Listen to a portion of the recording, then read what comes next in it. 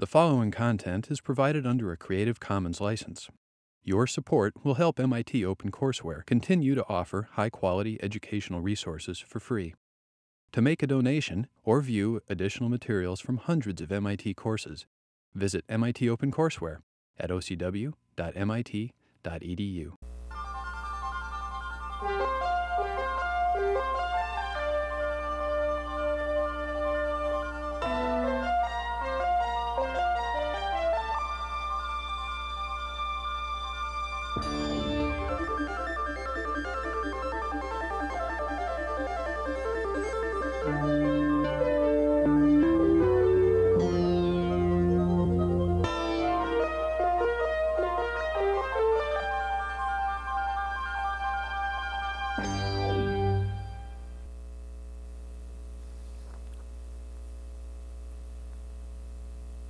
In the last lecture, we discussed sinusoidal and real and complex exponential signals, both for continuous time and discrete time.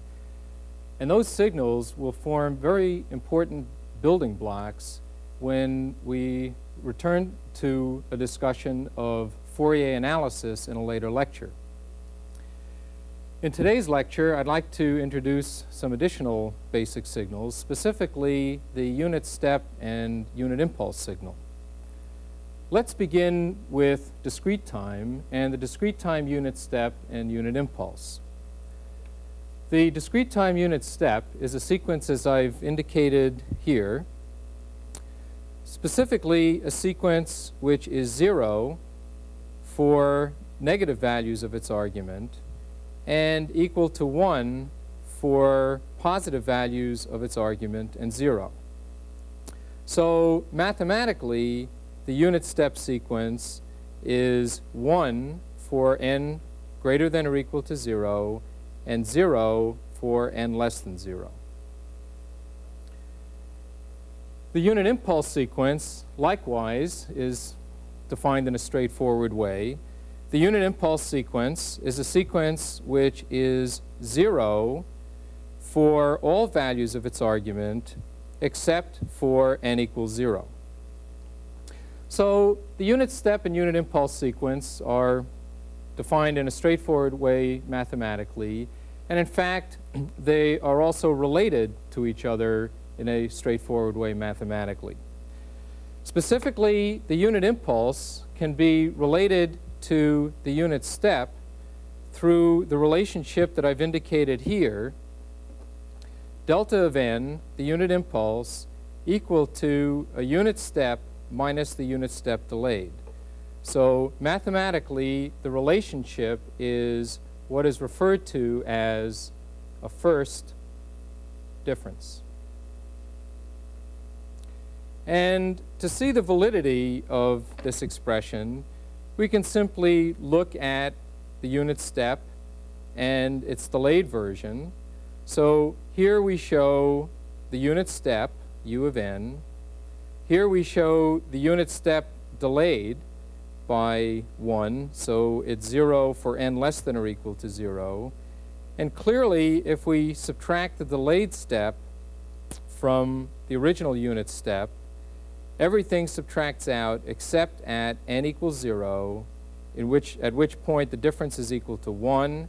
And so the difference between u of n and u of n minus 1 is simply the unit impulse, sometimes incidentally also referred to as the unit sample. Now, in a similar way, we can express the unit step in terms of the unit impulse, and there are several ways of doing this. One way is through a relationship referred to as a running sum. What I mean by that is the following expression. If we think of forming the sum from minus infinity up to some value n of a unit impulse or unit sample, then this running sum, in fact, is equal to the unit step.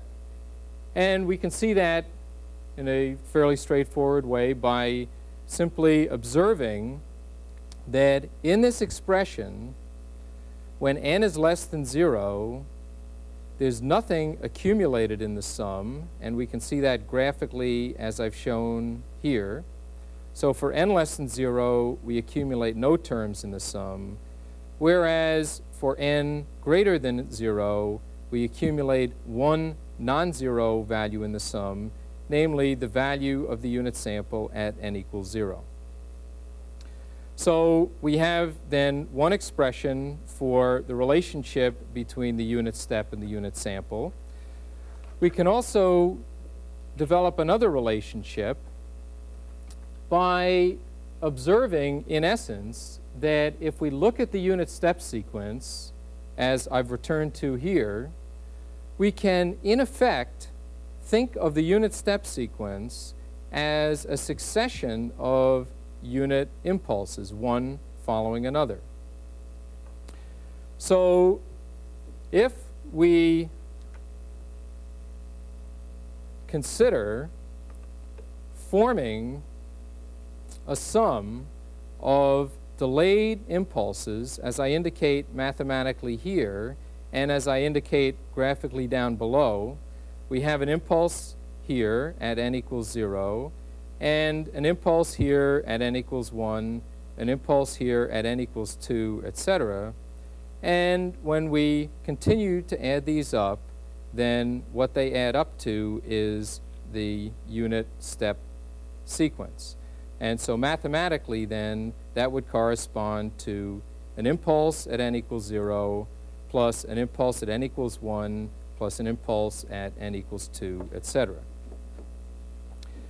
Now, in, in continuous time, we have a very more or less similar situation. We will find it equally useful to talk about a unit step continuous time signal and a unit impulse continuous time signal. Let's begin with the continuous time unit step. The continuous time unit step function is graphically indicated as I've shown here. It's a time function which is 0 for t less than 0, and it's 1 for t greater than 0. And so mathematically, what it corresponds to is u of t defined as a time function which is 0 for t less than 0, 1 for t greater than 0. Now, an obvious question is, what happens at t equals 0. And the difficulty here, which is not a difficulty that arises in the discrete time case, is that at t equals 0, the unit step function is in fact discontinuous, which generates a variety of mathematical problems. And one can define the unit step at t equals 0 in a variety of ways, but the essential point is that the unit step function is discontinuous. So in effect, what we need to do is think of the unit step function as the limit of a continuous function. And so we can define a function which I specify here as u sub delta of t. And u sub delta of t is a time function which is 0 for t less than 0, linearly increases to time delta, which would correspond to this breakpoint, and then one following that. And so we can think then of the discontinuous unit step as the limiting form of u sub delta of t as delta goes to 0. Now, we also want to define a unit impulse function and it had a fairly straightforward definition in discrete time. In continuous time, things get slightly more difficult. And to motivate the definition,